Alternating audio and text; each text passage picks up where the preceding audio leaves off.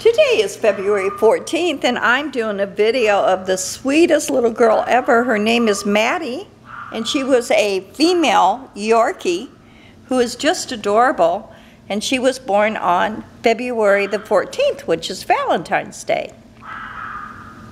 She will come with CKC papers, a one-year health guarantee, and she's current on her shots. You're just as sweet as can be. She's probably going to be four to five pounds full grown.